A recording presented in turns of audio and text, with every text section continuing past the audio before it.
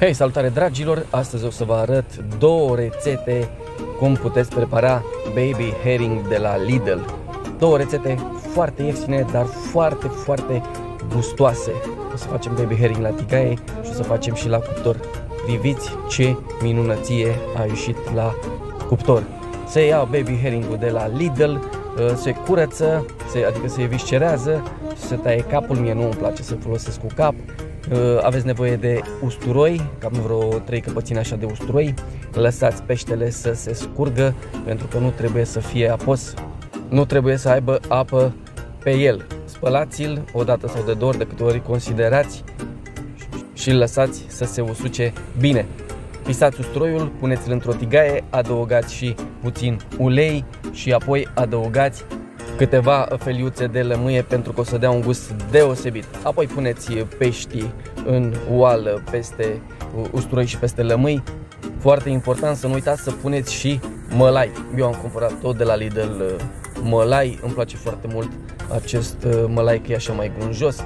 Amestecați bine, bine ca să nu se lipească până când se călește așa puțin peștele. Uitați, uitați ce bine arată și ce bine miroase, să știți. Și lămâia asta, este foarte important să puneți lămâia asta și usturoiul ăla dă un gust deosebit. Foarte, foarte bun. Pregătiți într-o tăviță, puneți o foaie de copt și puteți să așezați peștii cum vreți voi. Mie îmi place să-i așez ca o floare. Nu știu, mie mi se pare că arată ca o floare de floarea soarelui. Sau puteți să așezați cum vreți voi, nu are importanță. Puneți tot conținutul și lămâia și mălaiul și așezați-le cum vreți voi. Chiar nu mai contează. Liber la imaginație. Într-o tigaie cu ulei încins, luăm și punem baby herring, la fel cum am pus și la cuptor, cu tot cu mălai, cu tot cu lămâie, cu tot cu usturoi.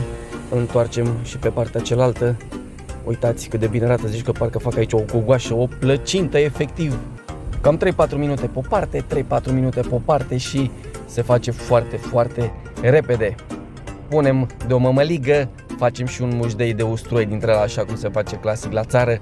Ce poți să-ți dorești mai mult? Uitați aici pește, la tigaie cu mușdei și cu mămăligă. Dar să ne întoarcem privirea și spre cuptor. Ia uitați ce avem aici la cuptor. Avem o crăticioară plină cu pește. Doamne, ce culoare frumoasă și ce miros deosebit. Hai, poftă bună, vă aștept pe la mine. V-am pupat!